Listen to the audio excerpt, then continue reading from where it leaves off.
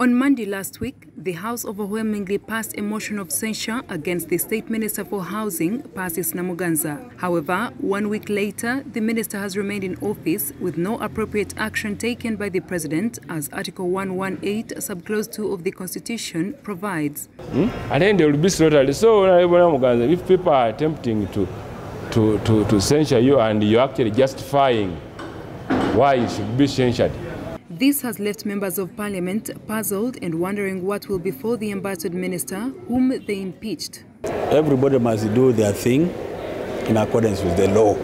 What is very bad is for us to act outside the law. It has entered the records of history in the Hansard.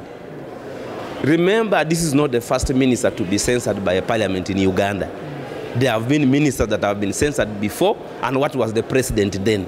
Where are the president antagonizes with the resolutions of the parliament, then that is a direct war waged against parliament. As parliament sessions resume tomorrow, some legislators led by the Kira municipality MP Ibrahim Ssemujju Nganda want the speaker to explain to parliament what transpired when she wrote to the president over the parliamentary resolution to censure the minister. I really hope that Mr. Museveni will not hold on to Namuganza um, because otherwise he will begin thinking about something different. I, only hope that Museveni will respect a parliamentary decision.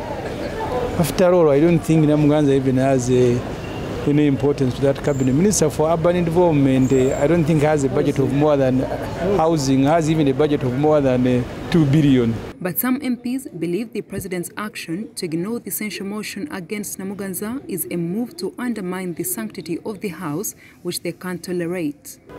It is also wrong for the president not to act after parliament has given him, since it is by law that in 24 hours or in a few hours, he should have acted.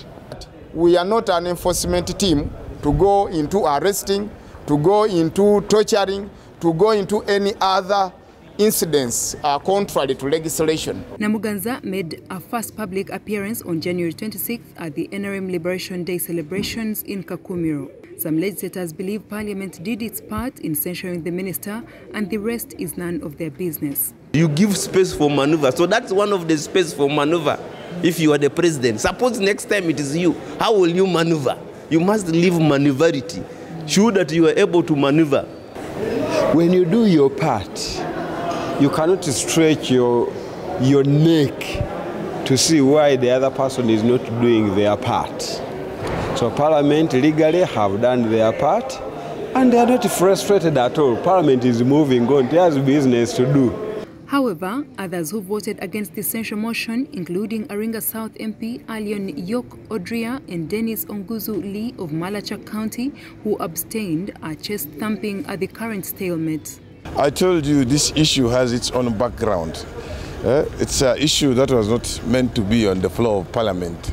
I think my dreams may come true because I told the people who were very excited about this that uh, they could be wasting useful time which we could have put into other constructive engagements that improve the life of Ugandans. Some lawmakers suggested the constitutional provision on censure of the minister be amended to provide the president with clear action to be taken against the minister after censure. There's a lot of uh, opaqueness in, in the law. There's no clear clearly defined action a president should take in this kind of circumstance.